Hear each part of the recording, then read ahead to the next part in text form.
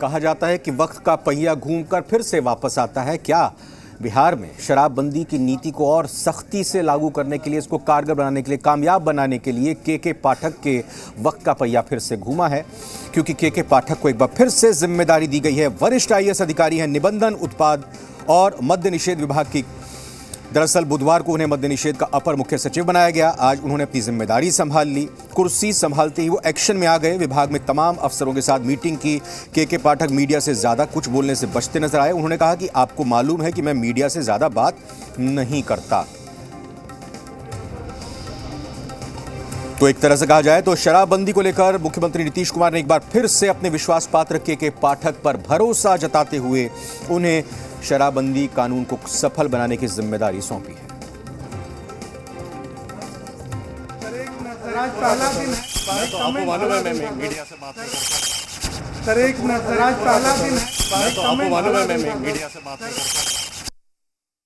शराबबंदी पे उठ रहे सवाल के बीच में सीनियर आईएएस अधिकारी के के पाठक को एक बार फिर से जिम्मेवारी सौंपी गई है।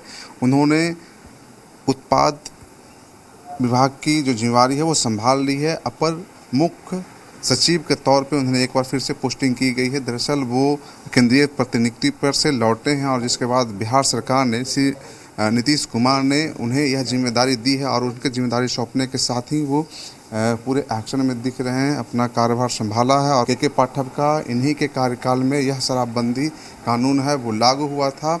इसके बाद अब एक बार फिर से उन्हें यह ज़िम्मेदारी दी गई है। अब देखना होगा कि जिस तरीके से जहरीली शराब से जो लोगों की मौत हुई है, अवैध जो शराब हैं, उस पर कैसे कह लीजिए कि निगरानी कर पाते हैं, कार्रवाई कर पाते हैं, रोक पाते हैं, यह देखना होगा। के के पाठक को मद्य निषेध विभाग का अपर मुख्य सचिव बनाए जाने के बाद अब विपक्ष हमलावर है। विपक्ष याद दिला रहा है कि एक वही के के पाठक हैं जो कार्रवाई कर रहे थे और फिर कार्रवाई करने के बाद इनको अपने पद से हटा दिया गया। तो क्या अब एक बार फिर से ऐसी सूरत देखने को मिलेगी? लेकिन अगर सरकार के पक्ष की बात करें, सरकार से जुड़े हुए नेताओं, प्रवक्ताओं और जन अधिकारियों की बात करें तो उनका कहना है कि ये तो विशेष विशेषाधिकार मुख्यमंत्री का है। उनकी मर्ज़ी, वो किसको अधिकारी बनाते हैं और किसको हटाते हैं। सबको पता है कि उत्पाद एवं मद निषेध विभाग प्रधान सचिव के पद पर के के पाठक पहले रह चुके हैं। हरनौत में जदयू के अध्यक्ष के घर में शराब की बड़ी खेपे पकड़ी गई। जब के के पाठक जी ने कार्रवाई करने शुरू की तो एक्साइज सुप्रीम का तबादला कर दिया गया। इनका भी तबादला हो गया, के के पाठक जी का भी तबादला हो गया। पुनः अपने ज़रूरत के हिसाब से माननीय मुख्यमंत्री जी ने फिर उत्पादक बंद निषेध विभाग में के पाठक की नियुक्ति की है। नियुक्ति करना विशेषाधिकार मुख्यमंत्री जी का है, पर आपकी जो कार्यशैली है, वो साफ़ साफ़ दिखता है। इसलिए मेरा मत साफ़ है कि सिर्फ़ अधस्थापन, पदस्थापन से स्थानांतरण पदस्थापन से आभा नहीं बनती है। जिस के के पाठक को मध्य निषेध विभाग से नीतीश कुमार वर्षों पहले हटा दिए थे और पाँच साल के असफल शराबबंदी पे समीक्षा के बाद उसी के के पाठक को पुनः उसी विभाग में लाना नीतीश कुमार के मजबूरी है या ज़रूरी है? या फिर नीतीश कुमार जी अपने असफल शराबबंदी का ठिठरा के के पाठक पे फोड़ना चाहते हैं? अब आरजेडी बताएगी कि कौन से पदाधिकारी कहाँ पदस्थापित होंगे? ये शराबबंदी का जो कानून बना था, उसमें श्री के के पाठक जी ही वहाँ उत्पाद आयुक्त थे। शराबबंदी के पूरे मामले पर विपक्ष की असली मंशा सबके सामने है। ये लोग शराबबंदी को खत्म करा देना चाहते हैं। कहा तो सकारात्मक विपक्ष की भूमिका निभाते हुए इन लोगों को सकारात्मक सुझाव देने चाहिए थे। लेकिन जब समीक्षा भी होती है तो भी ये लोग उस पर सवाल खड़ा करते हैं। अधिकारियों को नियुक्त किया जाता है। सरकार और ठोस कदम उठाने की ओर अग्रसर होती है तो भी इनके पेट में दर्द होता है। मसला साफ़ है। ये लोग शराबबंदी खत्म करना चाहते हैं क्योंकि इसमें इनका व्यक्तिगत और निजी लाभ है। राजनीति भी करनी है इनको। खैर, बिहार की आम जनता के सामने इनका असली महिला विरोधी और समाज विरोधी चेहरा उजागर हो चुका है। और नीतीश कुमार जी कभी अपने किसी फैसले से समझौता नहीं करते हैं। के के पाठक जी एक तेज तरार आईएएस ऑफिसर हैं। जब इसका मसौदा तैयार हुआ था शराबबंदी का, उसमें भी उनकी अहम भूमिका थी। अब उनके आने से निश्चित रूप से हम लोग आशा करते हैं कि इस कानून को कड़े ढंग से जैसे लागू होगा बिहार में बिहार में पूर्ण शराबबंदी है, लोगों के स्वास्थ्य से हम लोग खिलवाड़ नहीं कर सकते हैं। और मुझे लगता है आने वाले वक्त में जो एक दो घटनाएँ घटित जो इस बीच में हुए हैं, उस पर भी पूर्ण विराम लगाने का काम जो है होगा। विपक्ष के लोग भी जो ऐसे शराबबंदी को लेकर करके, उन्होंने उस समय समर्थन किया था। लेकिन आज विपक्ष के लोग शराबबंदी को नकार रहे हैं। अरे जब शराबबंदी को सख्ती से लागू करने के लिए कड़क और ईमानदार पदाधिकारियों की नियुक्ति अगर की जाती है तो उस पर भी सवाल खड़े करते हैं। यह विपक्ष का यही रवैया है। विपक्ष के लोगों को यह रास नहीं आ रहा है कि शराबबंदी सफल हो।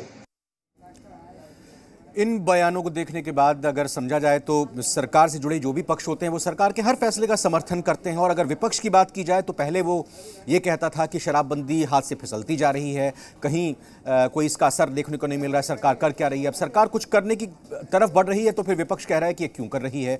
हमारे सहयोगी हमारे साथ धीरज ठाकुर जो कि हमारे जी बिहार झारखंड चैनल के बिहार डेप्टी रेजिडेंट एडिटर हैं जुड़ चुके हैं।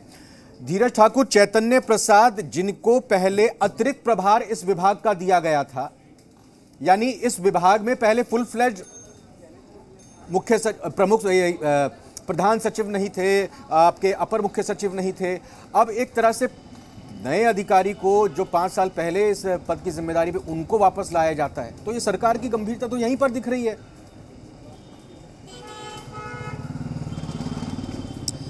देखिए के के पाठक एक तेज तर्रार अ, ईमानदार ऑफिसर के में गिने जाते हैं और केंद्रीय प्रतिनियुक्ति पर थे उसके बाद वो आए हैं और उनको ज़िम्मेदारी ये दी गई है। इससे पहले भी जब ये कानून लागू हुआ था तो उनके पास ज़िम्मेदारी थी लेकिन विपक्ष का आरोप ये रहा कि उन कार्रवाई जब कर रहे थे कुछ लोग ऐसे लोगों पर तब उसके बाद उनको इस इसके कहीं ना कहीं दूसरे जगह तबादला कर दिया गया था। अब जो है फिर उनको लाया गया है। तो कुछ सोच समझकर जो समीक्षा बैठक हुई मुख्यमंत्री ने किया 16 नवंबर को, और सारे मंत्रीगण और सारे अधिकारीगण वहाँ पर मौजूद थे।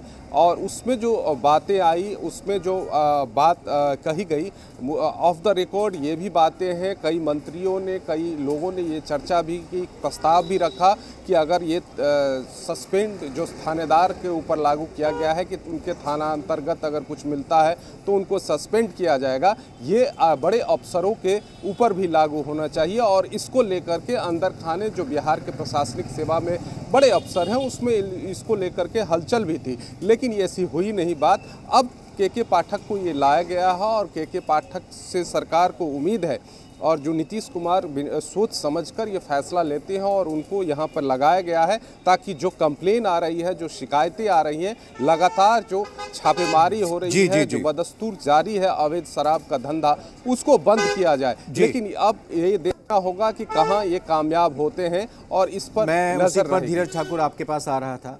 पहली तो बात यह कि क्या अकेले के के पाठक इतनी बड़े चुनौती का सामना करके विजय पालेंगे? और चुनौतियाँ क्या क्या होंगी? कौन कौन सी वो चीज़ें हैं जिन पर उनको तुरंत कार्रवाई करनी है? और इसमें हम संज्ञान में लेना चाहेंगे शक्ति यादव का वो बयान जिसमें उन्होंने कहा कि जेडीयू के अध्यक्ष के घर पर जब जखीरा बरामद हुआ था शराब का, उस दौरान वो कार्रवाई करना चाहते थे तो उनका तबादला कर दिया। देखिए के के पाठक के बारे में ये कहा जाता है कि बहुत तेज़ हतार ईमानदार ऑफिसर हों और जब वो अपने काम पर आते हैं तो किसी की नहीं सुनते हैं। तो हो सकता है कि उनको कुछ दिन के लिए इस तरह का पावर दिया जाए। कि वो अपने काम को जिस ढंग से करना चाहते हैं उस तरीके से करें। जो सरकार की फजीहत हुई है जो जहरीली शराब के मौत के बाद कहीं ना कहीं जो सवाल खड़ा हुआ प्रशासनिक तंत्र पर कि कहाँ से आ रहे हैं। ये बात तो जायज़ है कि अगर बॉर्डर इलाके में अगर शराब आ रहे हैं वहाँ से और उस पर कड़ाई नहीं हो रही है सख्ती नहीं हो रही है तो ये कहीं ना कहीं तो सवालिया निशान है। दूसरी बात अब अगर आप नीचे स्तर के अधिकारियों पर ये दबाव डालते हैं कल को ये बहुत कुछ लोग कह रहे हैं। आप जब बात करेंगे लोगों से तब ये पता लोग कह रहे हैं कि किसी भी थाना अध्यक्ष अगर पकड़ा भी जाता है तो ओपन नहीं करेगा कि क्यों पकड़ा। जब उसको पता है कि सस्पेंड अगर हो जाएँगे वो तो पता ही नहीं क्यों वो कहेगा कि नहीं मेरे थाने क्षेत्र में कुछ पकड़ा गया है। तो इस तरह के सवाल है उस पर किस तरह से निपटते हैं किस तरह से जो जिला के प्रशासनिक अधिकारी हैं उनसे लेकर के थाना अध्यक्ष तक किस तरह ये पूरे प्लानिंग के साथ इसको अ, ख़त्म करने में ये ये देखने वाली बात होगी। और जब तक जो छोटे प्रशासन तंत्र है कार्रवाई अगर आप कर रहे हैं तो कार्रवाई ये भी कहा जा रहा है कि वो माफिया जो इस अवैध धंधे में लगे हुए हैं उनको क्यों नहीं पकड़ा जा रहा है ये थाना अध्यक्ष या छोटे मोटी या देहात में जो आ, उनको बनाया जाता है शराब को उस पर तो कार्रवाई हो रही है लेकिन जो बाहर से आ रहे हैं शराब उन पर क्यों नहीं कार्रवाई हो जा रही है ये सबसे बड़ा सवाल है और यही चुनौती जी के के हाँ। पाठक के पास रहेगा कि आने वाले समय में कि जो बाहर से बिल्कुल तो इस चुनौती का कैसे सामना करते हैं और कैसे शराबबंदी को सख्ती से एक बार फिर से लागू करते हैं? बहुत बहुत धन्यवाद आपका पूरी जानकारी और बातचीत के लिए। धीरज ठाकुर।